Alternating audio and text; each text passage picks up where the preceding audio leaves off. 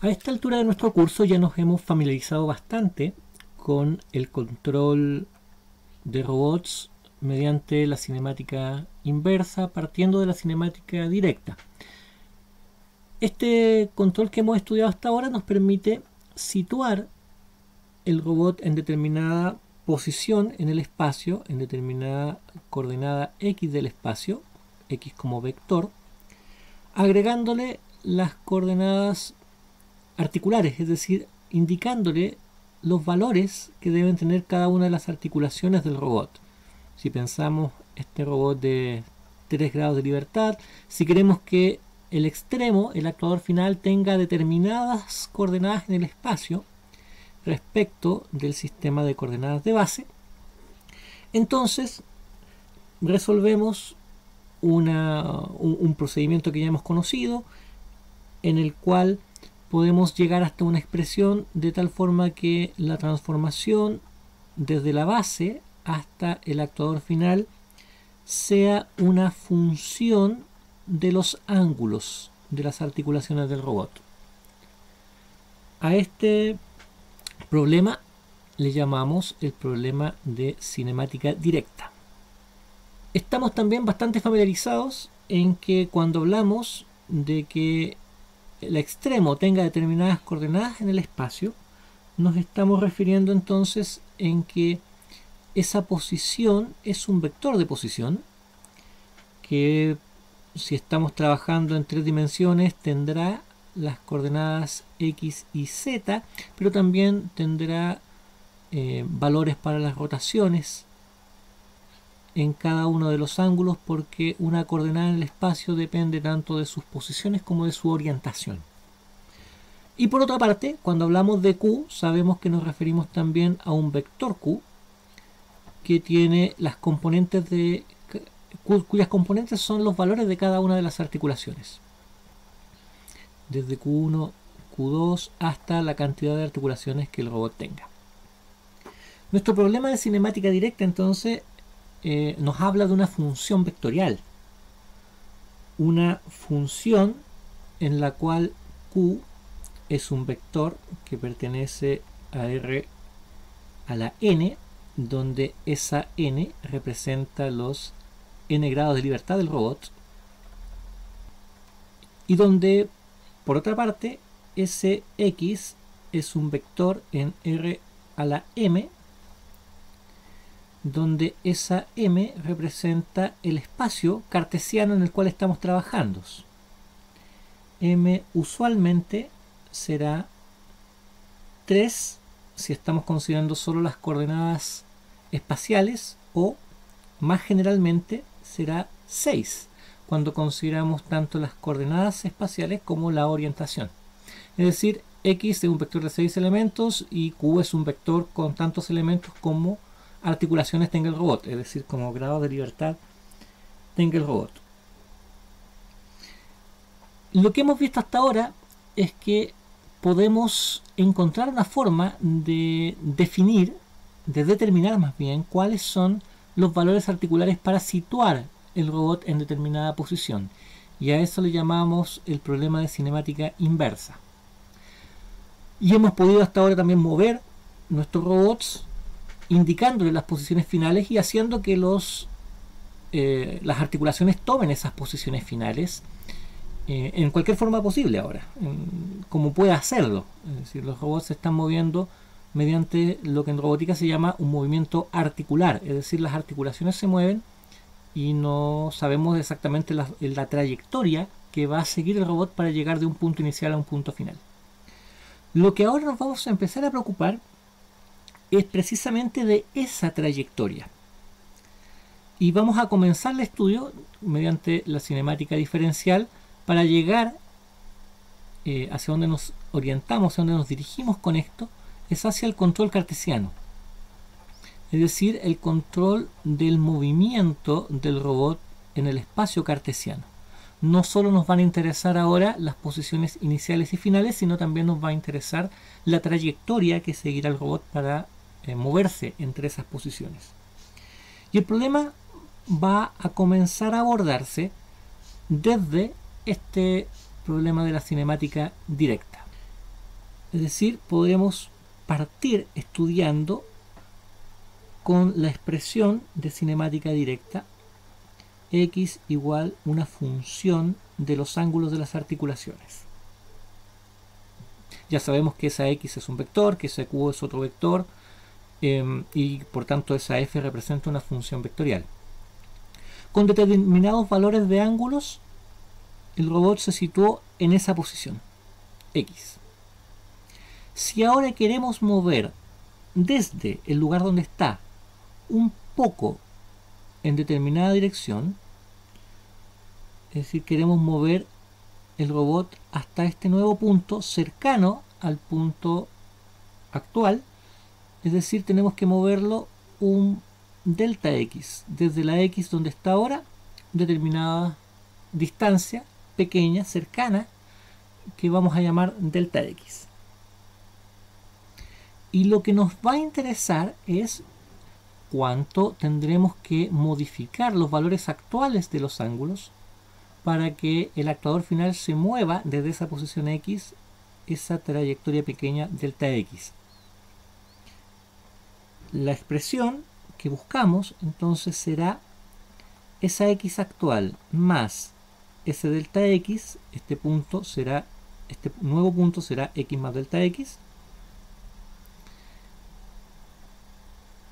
seguirá siendo también resultado o seguirá siendo válida la expresión de cinemática directa y lo que buscamos es a partir de los ángulos actuales cuáles serán las variaciones de los ángulos que debo provocar para provocar esa variación en la distancia.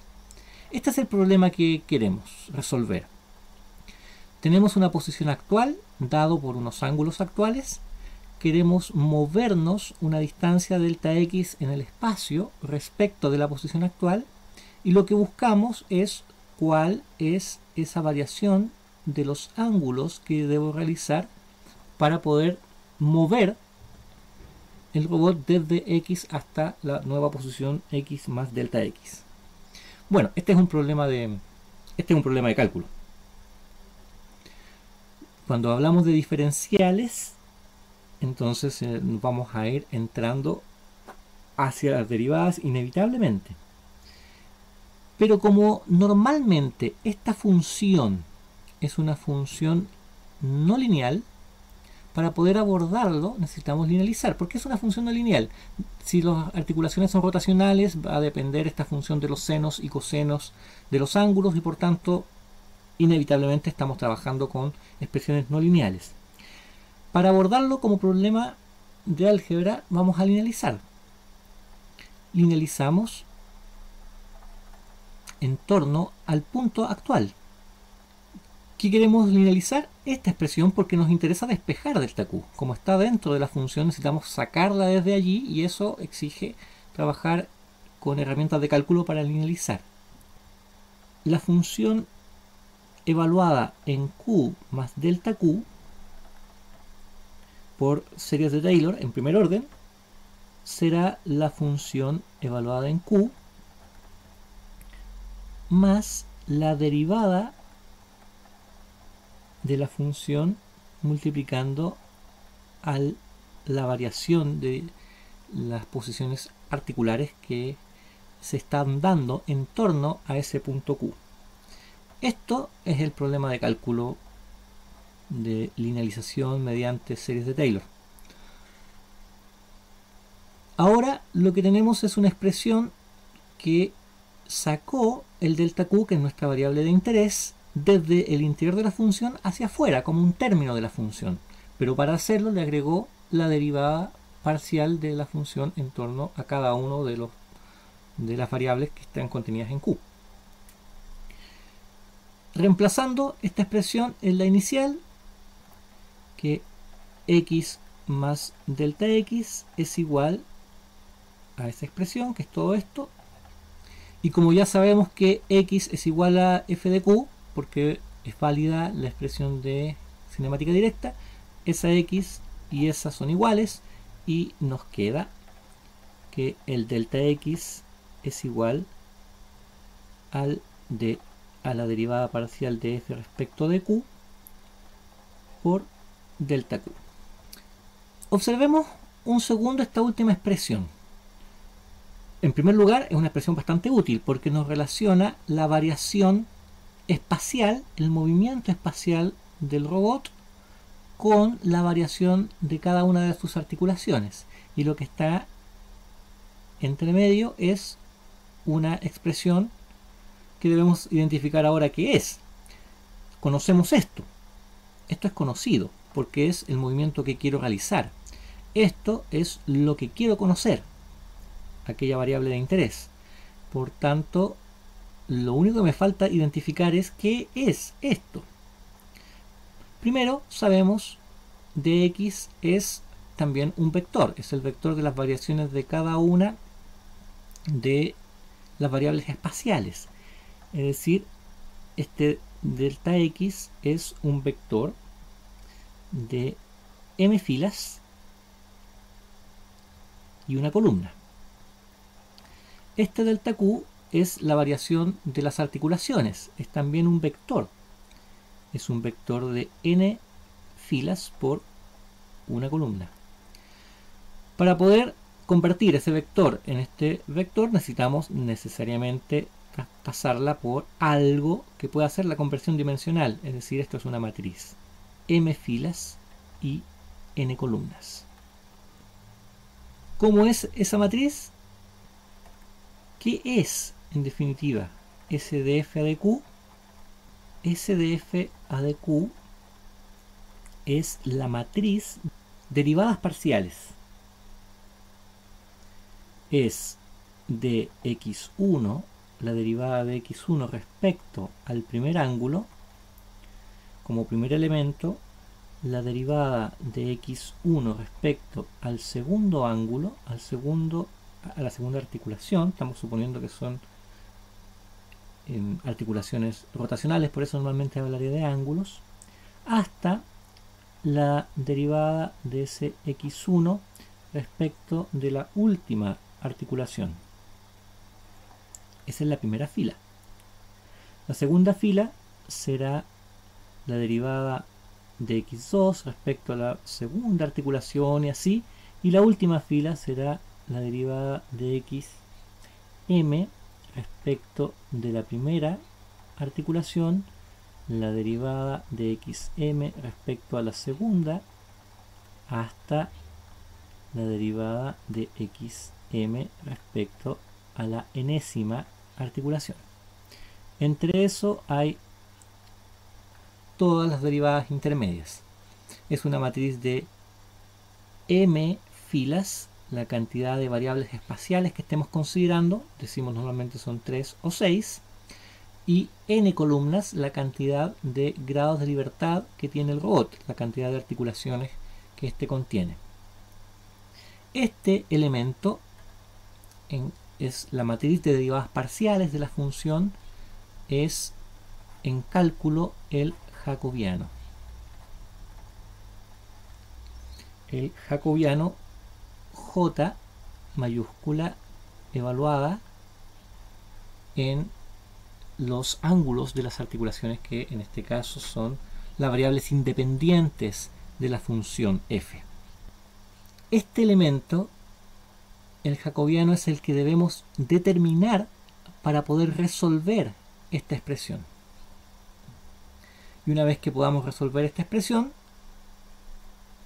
tenemos la posibilidad de encontrar aquella relación entre el movimiento espacial del robot y el movimiento articular, el movimiento de las articulaciones del robot en torno al punto donde actualmente está situado. Vamos con un ejemplo para mm, esclarecer un poco estos conceptos esa última expresión la podemos escribir como delta x igual j por delta q. Sabemos delta x es la variación espacial, delta q la variación articular y j es el jacobiano, la matriz de derivadas parciales. Esta expresión la utilizaremos para encontrar lo que andamos buscando. Pero primero, ¿qué es ese jacobiano? Tomemos como ejemplo el robot planar, siempre vamos a volver sobre este robot planar porque es muy útil estudiar en dos dimensiones porque estamos más habituados a visualizar los movimientos así. El robot planar lo haremos ahora considerando que tiene dos articulaciones iguales. Las dos articulaciones, para simplificar las matemáticas, tendrán longitud unitaria. 1. Un metro cada una de las articulaciones. El primer ángulo es el ángulo Q1 medido desde el eje X. El segundo ángulo es el ángulo Q2 medido desde la extensión de la primera articulación. Hemos trabajado bastante con esta expresión y ya estamos bastante familiarizados con que la matriz de transformación desde la base hasta, el actuador final tendrá como matriz de rotación el coseno de la suma de los dos ángulos, el menos seno, seno y coseno. Vamos a trabajar en dos dimensiones también para facilitar las matrices.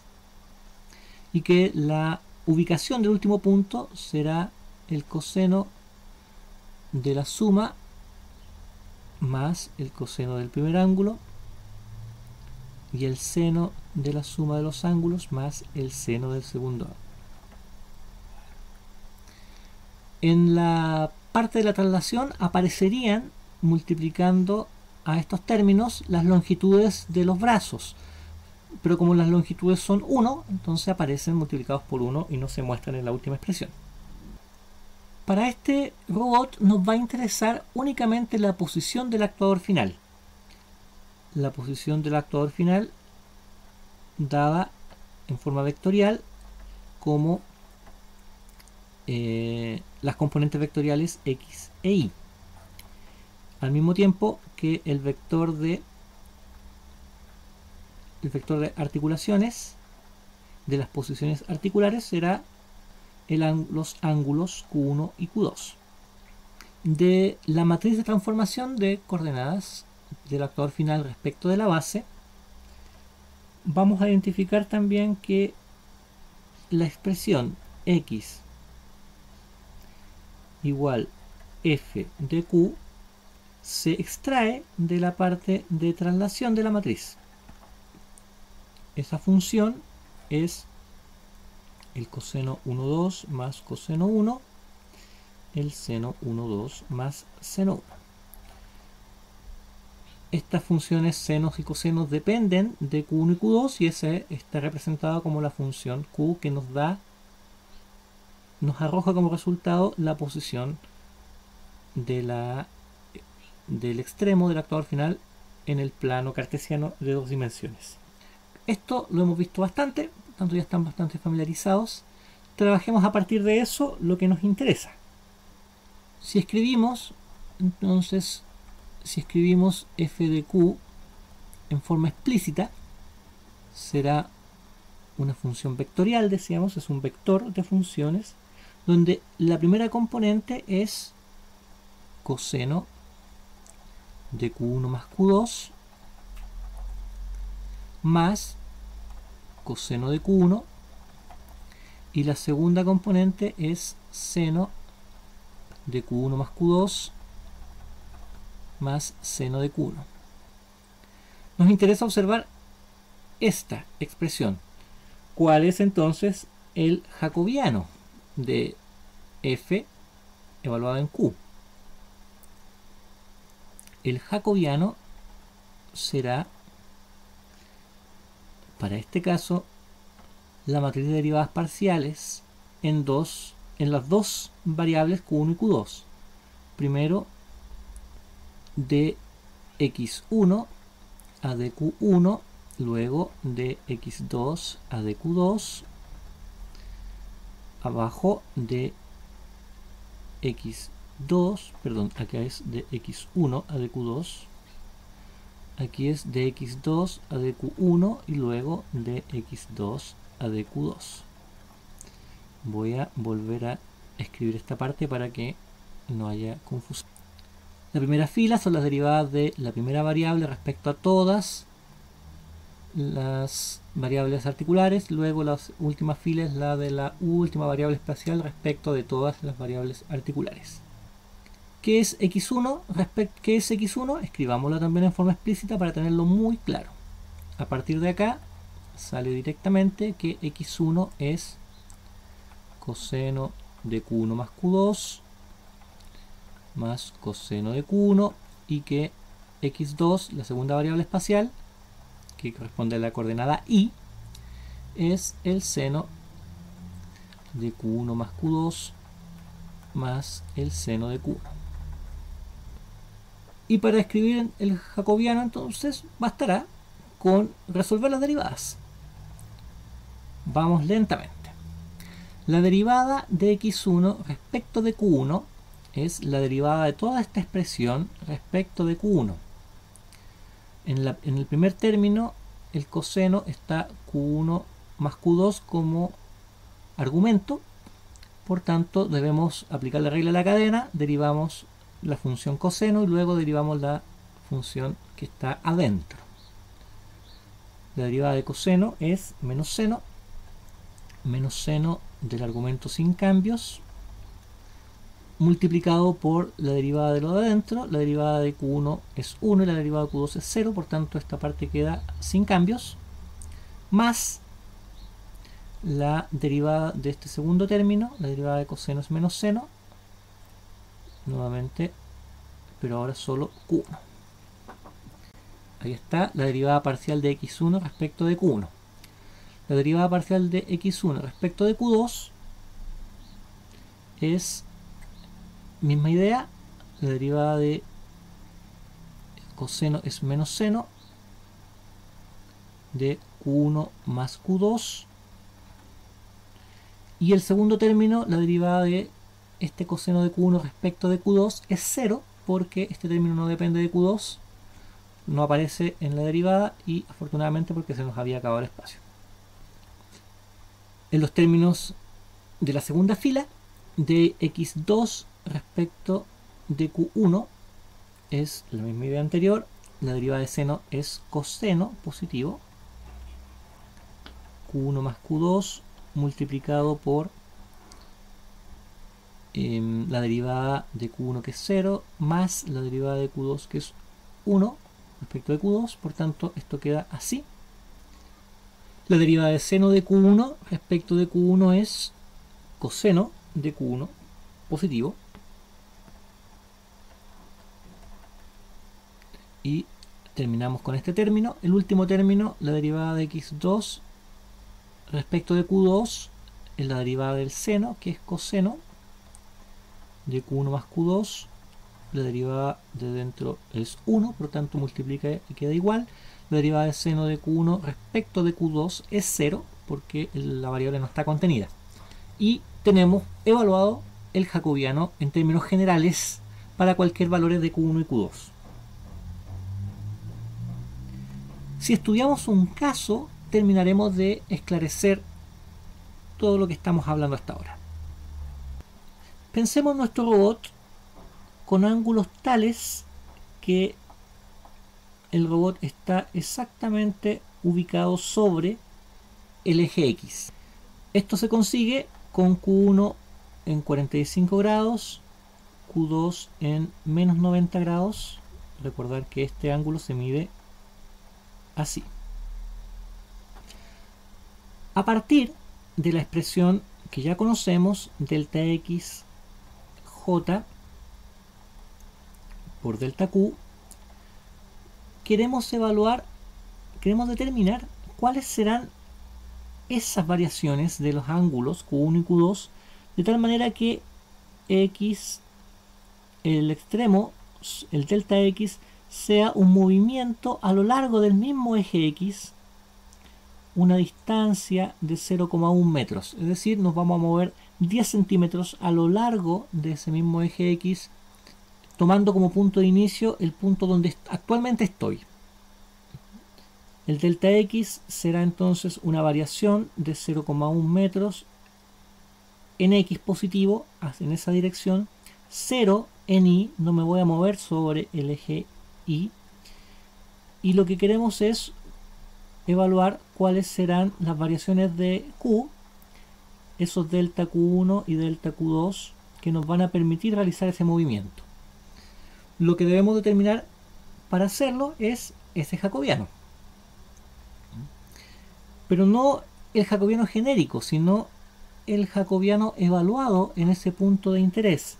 Es decir, el jacobiano evaluado en los ángulos de 45 grados para Q1 y menos 90 grados para Q2. Eso lo obtenemos directamente reemplazando esos ángulos en la expresión genérica del jacobiano. El primer término será el menos seno de 45 menos 90, que es menos 45 grados, menos el seno de 45 positivo. El primer término. El segundo es el menos seno de menos 45. Ahí está. Cerramos el paréntesis abajo es el coseno de menos 45 más el coseno de 45 positivo y por último el coseno de menos 45 en términos numéricos el seno de menos 45 tiene signo opuesto al seno de 45 pero de la misma magnitud por tanto entre ambos se anulan. El primer término es 0 el seno de menos 45 es raíz de 2 medios negativa, por el negativo es positiva 0,707 o 0,7 simplemente para hacer un cálculo rápido. El coseno de 45 negativo es igual al coseno de 45 positivo, por tanto eso es 2 veces 0,7, 1,4. Y el coseno de menos 45 grados es 0,7 positivo. Ahí está. Ese es nuestro jacobiano. Si el jacobiano multiplicado por el delta Q da como resultado delta X, lo que necesitamos hacer es la función inversa. Por tanto, debemos hacer el cálculo de la inversa para obtener delta Q como el jacobiano invertido multiplicado por delta X. Es decir, si la matriz resultante es no singular, entonces podemos calcular la inversa y al calcular la inversa lo multiplicamos por el valor y simplemente tendremos el resultado que buscamos. Cualquier eh, forma de cálculo de la inversa del jacobiano va a ser válida y lo que vamos a encontrar es sencillamente que delta Q será el jacobiano inverso donde eh, el resultado de este será menos 0,7 0,7 1,4 y 0. Este es el jacobiano invertido, no es este exactamente igual, pero si ustedes hacen el cálculo del determinante, eh, realizan la matriz adjunta dividido por el determinante, eso les da este valor. Y al finalmente, al multiplicarlo por el delta x, 0,1 y 0, nos va a dar la variación de ángulos que necesitamos. En este caso, 0,7, menos 0,7 por 1, menos 0,7 por 0,1, 0 menos 0,07, el segundo término es 0, el primer término, el segundo término 1,4 por 0,1 es 0,14, el segundo término es 0 y esas son las variaciones angulares que debo agregarles a las posiciones actuales para que el extremo se desplace en esa dirección que tenemos como resultado un método para calcular variaciones de ángulos que nos permiten realizar un movimiento deseado en el robot a lo largo de una trayectoria espacial. Este método, si han observado, no, requiere de la cinemática inversa. Probablemente la cinemática inversa la vamos a necesitar para ubicar el robot en la posición deseada. Pero luego, desde esa posición deseada, el método ha utilizado el jacobiano de la función. Partiendo de la cinemática directa, obtenemos una expresión para el jacobiano, evaluamos ese jacobiano en el punto de interés y una vez que tenemos la, matriz del jacobiano que representa las derivadas parciales en ese punto, simplemente lo multiplicamos por la variación espacial que necesitamos para obtener la variación angular que requerimos.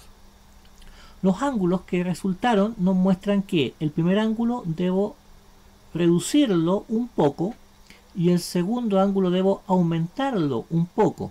Y eso tiene todo el sentido, porque para movernos desde este punto en esa dirección, Q1 debe bajar levemente al mismo tiempo que Q2 debe reducirse en esa dirección nos muestra entonces el resultado que eh, tiene sentido aquello que estamos calculando y lo único que nos quedaría ahora es eh, sintetizar un procedimiento de cálculo más genérico y más simple para resolver los problemas de esta naturaleza.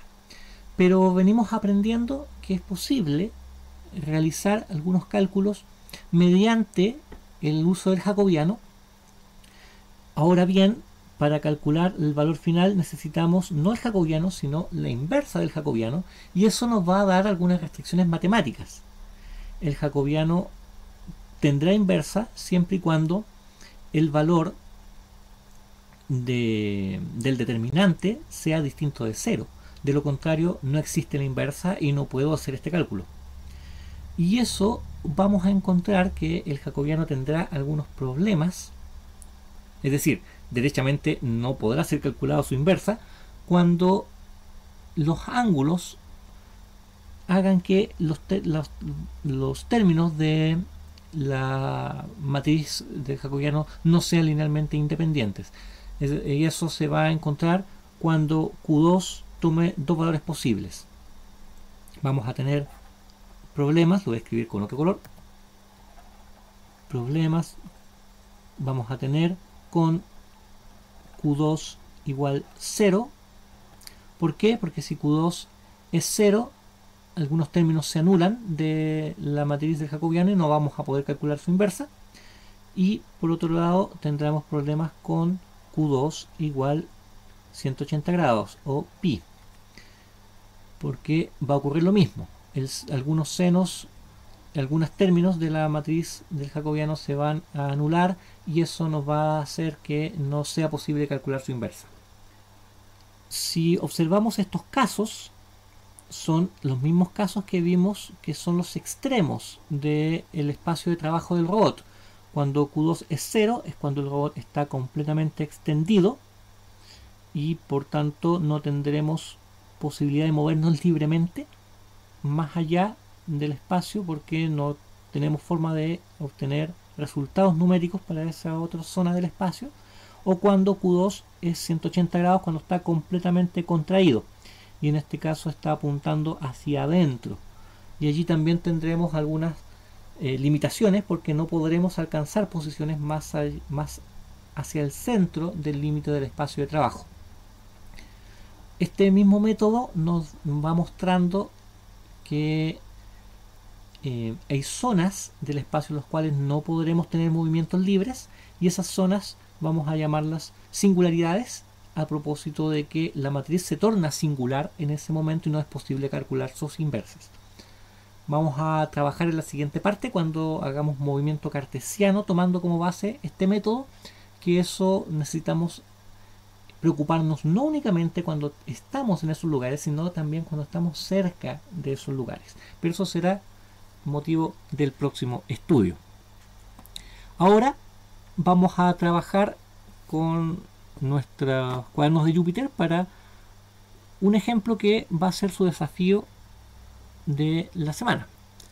Tomando como punto de partida nuestro robot planar que es ligeramente distinto que el que acabamos de estudiar porque sus extremos, sus, las longitudes de sus eslabones son distintas. El primer eslabón mide 0,3 metros, el segundo mide 0,1 metros.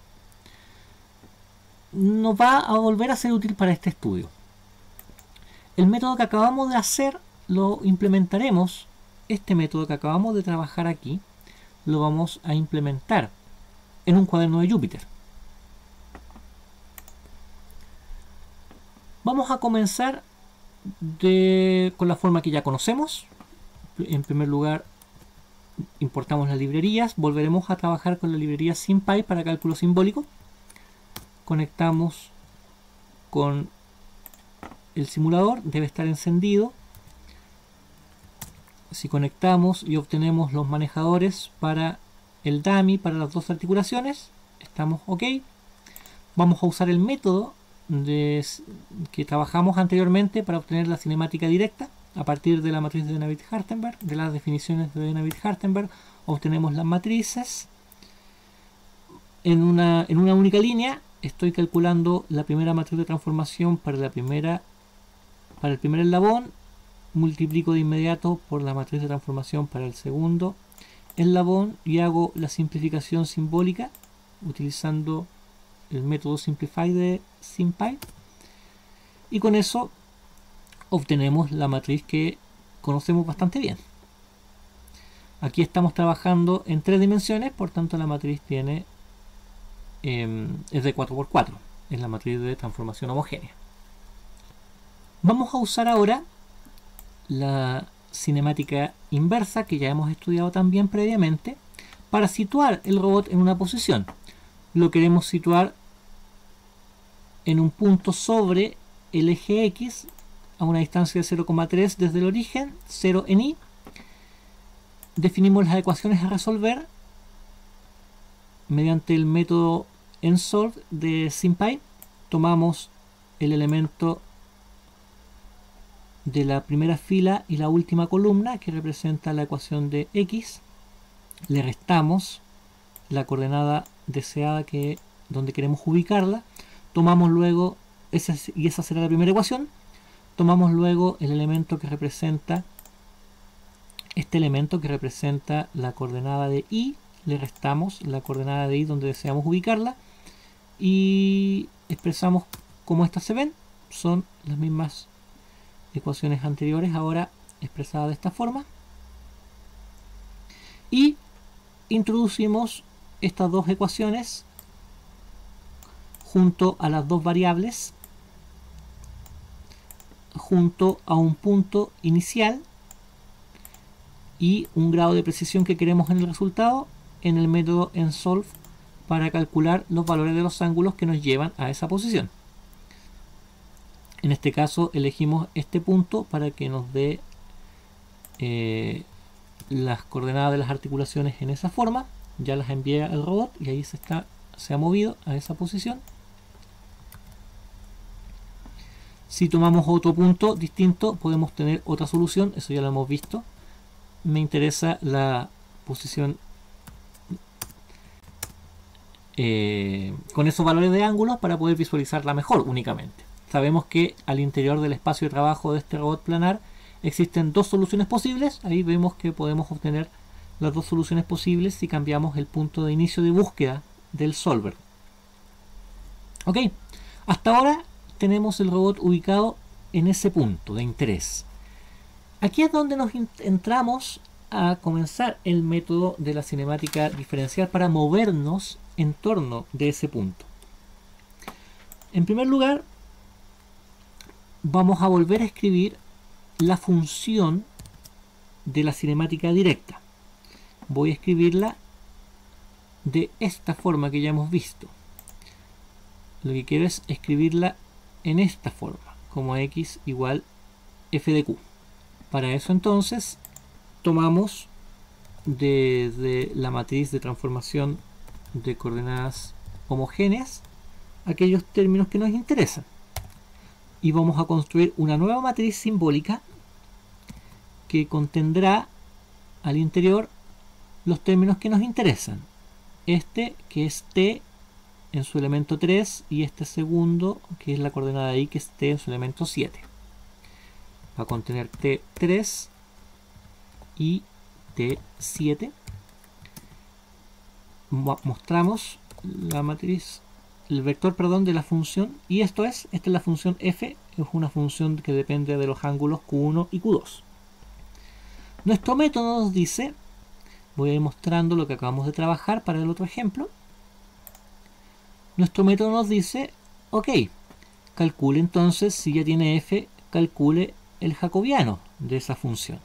Afortunadamente, nuestra librería amiga de SymPy tiene un método muy fácil de utilizar para eso. J almacenará el jacobiano de f, f.jacobian y le debo indicar cuáles son las variables que están involucradas. las envío como una tupla, es un par de elementos. Q1 y Q2 en ese orden para el cálculo de las derivadas y muestro cuál es el resultado y ahí tenemos la expresión para el jacobiano se parece al que nosotros calculamos para el ejemplo y si se observa lo único que aparece distinto son las que acompañan las longitudes de los elementos pero si observan este jacobiano tiene exactamente la misma forma que el que nosotros calculamos para el ejemplo. Voy a volver a mostrar este ejemplo. Ahí está. El método que nosotros seguimos aquí manualmente es el método que queremos ahora también eh, aplicar en nuestro caso numérico para mover el robot. Decíamos que debemos evaluar el valor de ese jacobiano en torno al punto de interés. Luego hacer la multiplicación que el delta Q será es, eh, no el jacobiano sino la inversa del jacobiano, debemos obtener la inversa multiplicado por el diferencial de posición que queremos movernos. Y tenemos entonces las herramientas suficientes para hacerlo. Para evaluar el jacobiano, puesto que tenemos una expresión simbólica, debemos agregarle valores. Pongamos que el valor el valor 1 del jacobiano será el valor que tenga actualmente la articulación 1, es decir, la coordenada, el vector q en su elemento 0. El valor 1, el valor para q1 será el valor que actualmente tiene q en su coordenada 0, es decir, S067. El valor 2 será el, vector de q en su coordenada 1, es decir, el valor de q2. ¿Qué debemos evaluar? El jacobiano en esa, en función, es decir, el jacobiano lo evaluamos, el término es eval f, y la sustitución que vamos a darle, debemos escribirla así, sustitución igual, expresado como un diccionario de Python, no hemos trabajado nosotros eso actualmente, pero esta es la forma en que se escribe, entre corchetes, el valor de la variable Q1, dos puntos, es decir, la variable Q1, dos puntos, el valor que le vamos a dar, val1, coma, Q2, el valor de la variable Q2 será val2. Esta es la forma de escribirlo. Subs igual son las sustituciones que haremos entre corchete. Q1 es el valor de el nombre de la variable que vamos a sustituir. Dos puntos, val1, el valor que tendrá la variable, que en este caso será el valor del primer elemento de Q. Lo mismo para la segunda variable y el resultado que nos va a mostrar eso es un valor numérico que corresponde al jacobiano evaluado con esos valores de ángulos. Es decir, el jacobiano evaluado en el punto donde ahora está situado el robot. Si enviamos eso a una variable, pongámosle J0, ese jacobiano 0, lo mostramos, ok, es ese valor. Nos interesa la inversa de ese jacobiano 0. Es decir, J inverso, vamos a ponerlo así, la JIM será el J0 inversa.imp ese es el método de cálculo de inversa, incluir la librería de SymPy. Mostramos el valor y ahí está el valor de la inversa del jacobiano. Lo único que nos queda ahora hacer, tenemos la inversa, es expresar los términos. Primero agregamos el vector de desplazamiento de x, incluimos como una matriz de SymPy y lo vamos a escribir como una coordenada x que queremos mover el extremo del robot un poco a lo largo de x, como decíamos, por ejemplo, 2 centímetros, 0.02, a lo largo de x, 0, a lo largo de y, es decir, nos moveremos solo a lo largo del primer eje de desplazamiento. Mostramos eso para visualizar cómo se ve. Ese es el vector que queremos ver. Debemos ahora multiplicar esa matriz del jacobiano inverso por ese vector y obtenemos como resultado el desplazamiento de Q. ¿Qué será de Q? J inverso multiplicado por dx. Mostramos cuál es el valor y ahí nos dice cuáles son las coordenadas que debemos mover el robot. Bueno, si es así, movámoslo. Vamos a tomar el código que está acá adelante.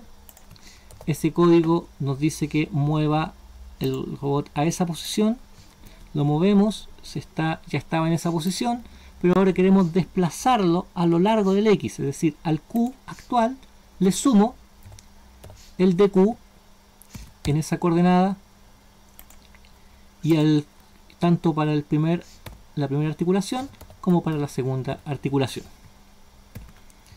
Hecho eso, al ejecutar deberíamos ver que el robot se mueve desde la posición actual 2 eh, centímetros un poco hacia la derecha. Y eso es lo que acabamos de calcular. Tenemos entonces un método que hemos estudiado teóricamente que nos muestra la posibilidad de realizar desplazamientos en torno a los puntos de interés y que eh, una vez que está situado el robot en un determinado lugar podemos trazar movimientos espaciales eh, provocados por movimientos de las articulaciones y el método nos permite determinar cuáles son esas variaciones en los ángulos que nos van a permitir el movimiento espacial que deseamos. Este método eh, me interesa que ahora lo exploren, sobre todo interiorícense con el procedimiento que hemos realizado, ensáyenlo, busquen otro punto, hagan movimientos y ejerciten también, prueben ¿Qué pasa si tenemos el robot ubicado en los extremos que ya hemos visto que teóricamente son sus límites? ¿Qué pasa si el robot está completamente extendido y queremos movernos en torno a ese punto? ¿Cómo, cómo se ven allí los jacobianos? ¿Cómo se ve su inversa? ¿Y qué pasa si el robot está contraído y tenemos que también eh, intentar moverlo en esa posición? Hagan esos ejercicios, familiarícense porque lo utilizaremos en la próxima actividad para realizar control cartesiano, que es hacia dónde nos dirigimos en esta parte del curso.